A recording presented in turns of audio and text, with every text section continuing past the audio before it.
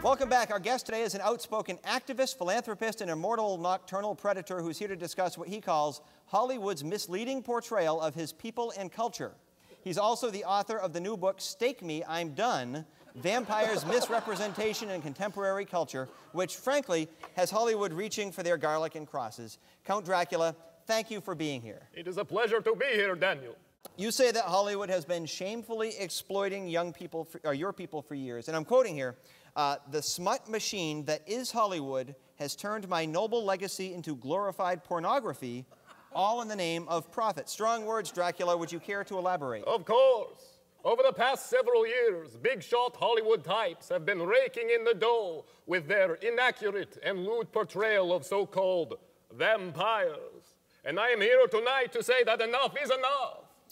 Well, uh, Dracula, it sounds like you were uh, pretty cross. That's because I am.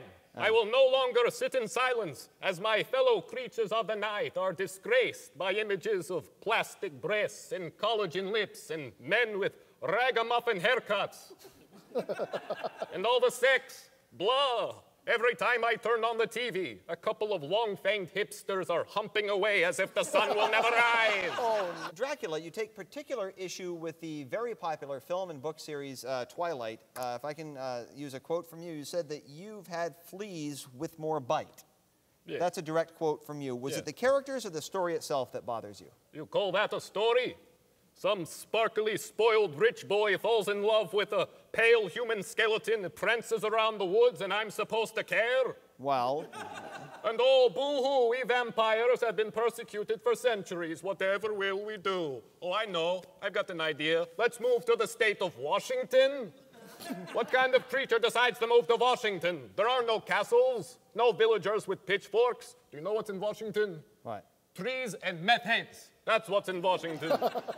Well, uh, Dracula, you also disagree with Twilight's depiction of werewolves, correct? You call it wildly inaccurate. Some of my best friends are werewolves. My neighbor is a werewolf. He has a spare key to my dungeon. But just last week, I attended his youngest pup's bar mitzvah. Well, uh, the series has quite the following.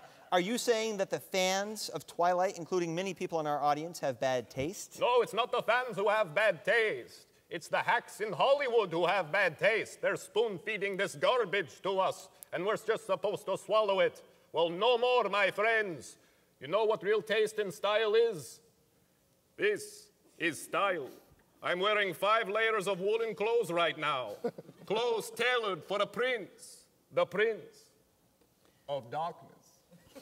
Of course, yes. All right. Well, let's talk about the, the TV series. Uh, you got True Blood and you got Vampire Diaries. What are your thoughts on those? True blood, more like true Blue.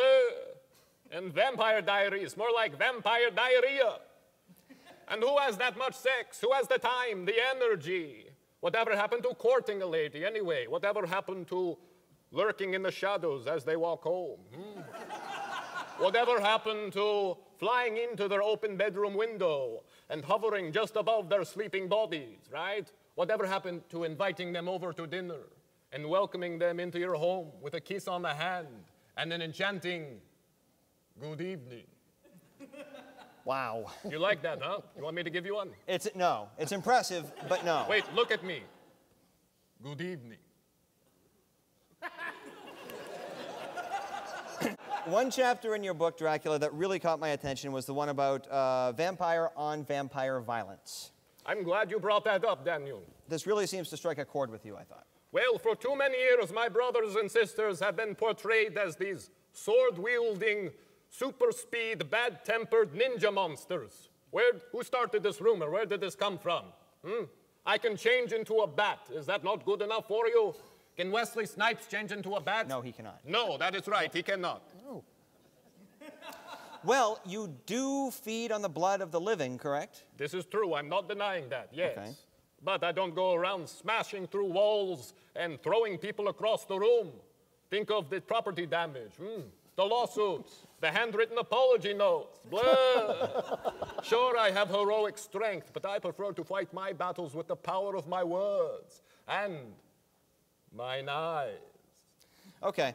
So, um, Come on, Count. Did you forget that there was a time when you were known as Vlad the Impaler? A time when you slaughtered entire armies single handedly? I'm sorry. I thought I was talking to someone who cared about veterans. Maybe I should go down to the VA and tell my story there. Is that it, Daniel? Well, I, I didn't. I didn't mean. No, that. no, let me go put on my leather pants and my sunglasses and slow fight to Matrix music, huh? Should I do that? Uh, look, I'm sorry if I offended. You. Do you know who got it right? Bela Lugosi, Gary Oldman, the guy who played Nosferatu, and Blackula. Blackula got it right. Yeah, he was very good. Look, I can certainly see your point, and I really didn't mean to. Hey, one question for you. uh, What blood type are you? Uh, I'm just messing with you. You're asking the tough questions. I get it. look, um, his new book is Stake Me, I'm Done Vampires, Misrepresentation in Contemporary Culture. It's available on Amazon. He'll be doing a book signing at uh, Books a Million this Friday. Count Dracula, thank you so much for your time. It was my pleasure. We'll be right back with comedian Crazy Jake right after this. Don't go away.